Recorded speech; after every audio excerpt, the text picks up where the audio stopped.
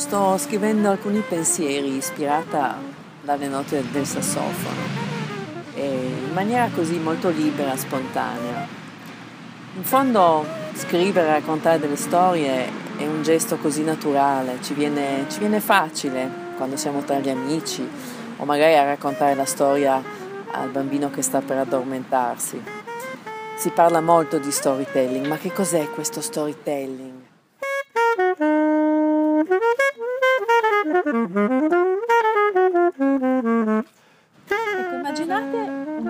Storia raccontata proprio in questo giardinetto, no? Immaginate di raccontare una storia di bambini. Allora, può raccontarla una mamma, una tata che ha il suo primo giorno di lavoro, un bambino stesso, un bambino magari di due anni.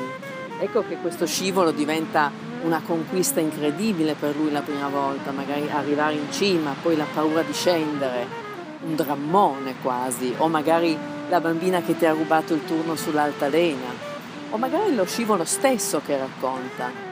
Ora pensiamo al mondo delle imprese. Il mondo delle imprese è complesso, con tutte le sfide del mercato attuale.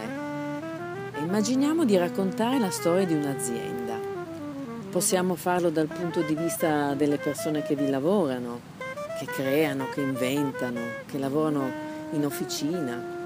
Possiamo raccontare dal punto di vista del management, da chi detiene poi le quote economiche dell'azienda e monitora, vuole monitorare i risultati.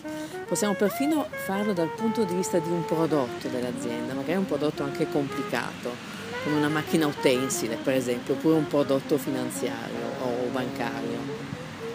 Questo è importantissimo perché se noi abbiamo il punto di vista giusto e una narrazione semplice, spontanea, affidata alle persone, noi otteniamo veramente l'obiettivo dell'efficacia e possiamo anche creare nuovi paradigmi attraverso il racconto.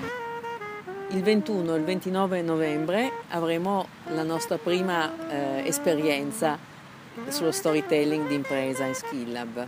È un'occasione veramente formidabile perché potrete sperimentare questa nuova tecnica con sotto la mia guida, io sono una scrittrice, sono anche un'esperta di eh, imprese da tantissimi anni.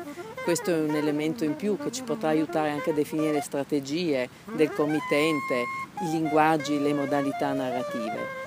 Vi aspetto e ci divertiremo moltissimo